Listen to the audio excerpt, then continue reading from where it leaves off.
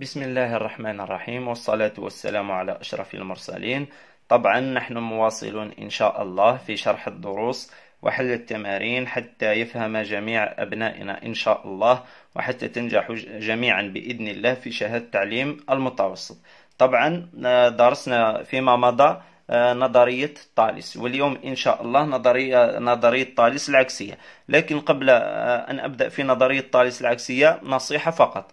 آه، إذا لم تفهم نظرية طالس يجب أن تعود للدرس موجود على قناتي وتفهم نظرية طالس جيدا. لماذا؟ إذا فهمت نظرية طالس سوف تفهم نظرية طالس العكسية بسهولة وفي خمس دقائق فقط. لكن إذا لم تفهم نظرية طالس مستحيل أن تفهم نظرية طالس العكسية. وهكذا فيتاغورس وفيتاغورس العكسية. نفس الشيء إذا فهمت جيدا نظرية فيتاغورس سوف تكون فيتاغورس العكسية سهلة جدا. عفوا. لكن إذا لم تفهم نظرية فيتاغورس سوف تكون نظرية فيتاغورس العكسية صعبة عليك. إذا آه، كما قلت إذا لم تفهم نظرية طالس يمكنك العودة إلى الدرس موجود على قناتي. الآن نبدأ على بركة الله.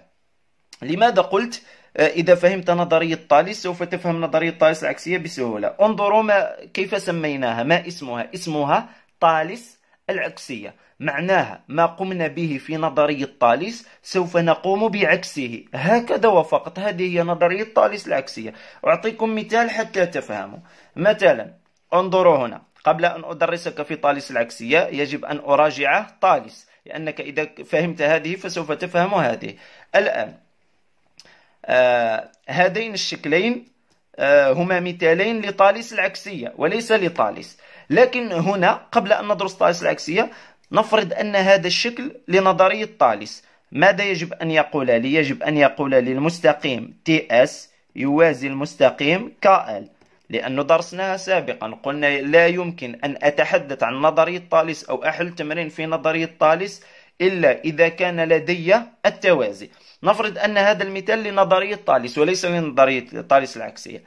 كيف نقول؟ تعلمناها سابقا. نقول لدينا هذا المستقيم TS يوازي المستقيم KL ومنه حسب نظرية طالس نجد. عفوا نجد. ماذا نجد؟ قلنا تطبق الأصغر على الأكبر الأكبر على الأصغر. لا يهم. نقول مثلا RK على RT أنا طبقت الأكبر على الأصغر.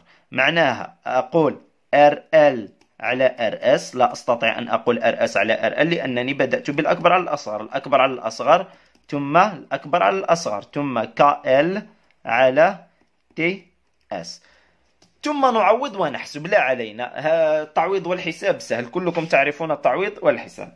هذه نظرية طالس. لو كان نظرية طالس نراجع مع بعضنا البعض. قلنا في نظرية طالس ما هو المعلوم ما هو المجهول؟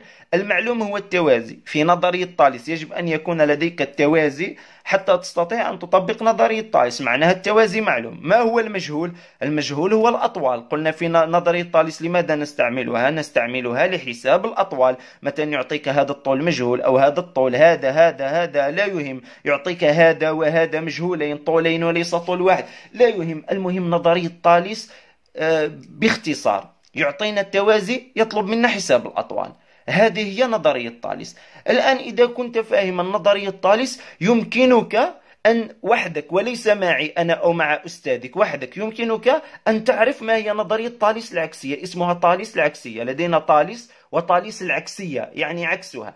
في طالس يعطينا التوازي ويطلب حساب الأطوال. قل لي ماذا يعطينا في نظرية طالس العكسية وماذا يطلب منا؟ قل لي ماذا نعم هي هكذا. في طالس يعطيك التوازي ويطلب منك حساب الأطوال لكن في طالس العكسية العكس يعطيك الأطوال ويطلب منك إثبات التوازي. إذا من اليوم فصاعدا لماذا نستعمل طالس نستعملها لحساب الأطوال. وكي نحسب الأطوال يعطينا التوازي. في طالس العكسية ما ما ماذا نفعل بالطالس العكسية؟ نثبت بها أن المستقيمان متوازيان وكي نثبت أن المستقيمان متوازيان يعطينا الأطوال.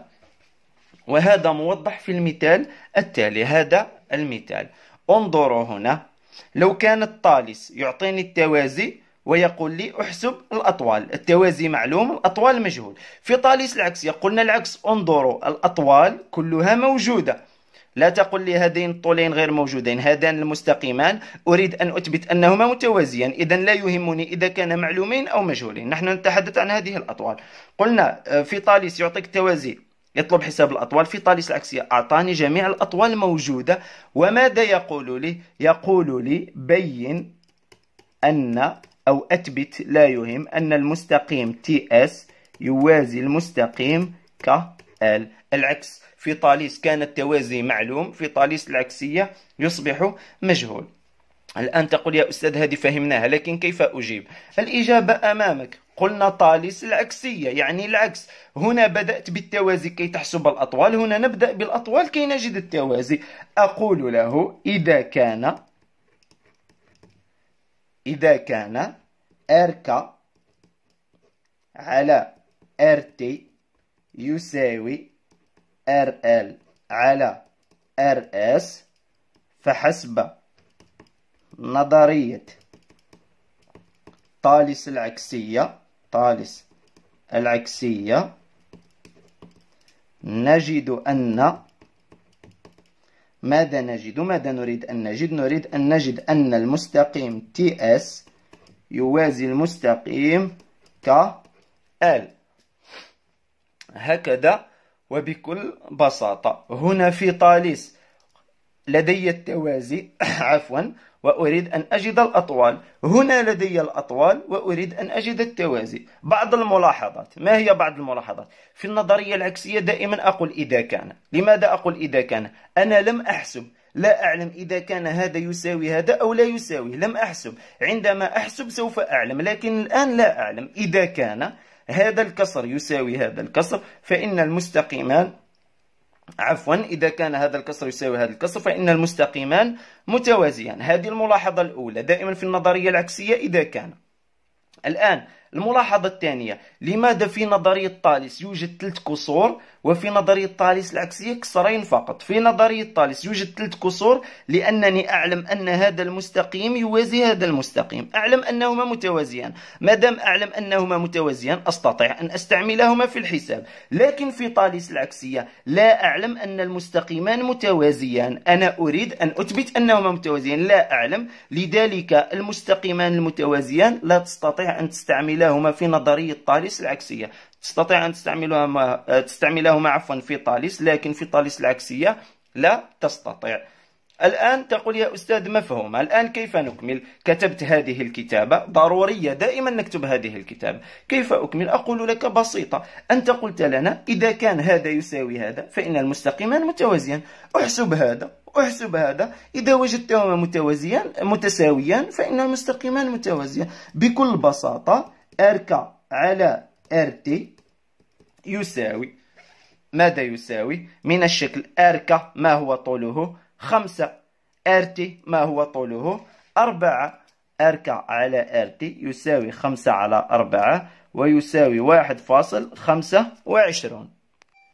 ونفس الشيء بالنسبة لهذا الكسر حسبنا هذا الكسر لوحده الآن نحسب هذا لوحده. R L على آه، R S ماذا يساوي؟ انظروا RL هذا RL 5.25 RS 4.2 الآن 5.25 على 4.2 أنا حسبتهم سابقا يمكنكم التأكد باستعمال الآلة الحاسبة. وجدته 1.25 انظروا كيف وجدت هذين الكسرين. وجدتهما متساويان. وأنا في الأول ماذا قلت؟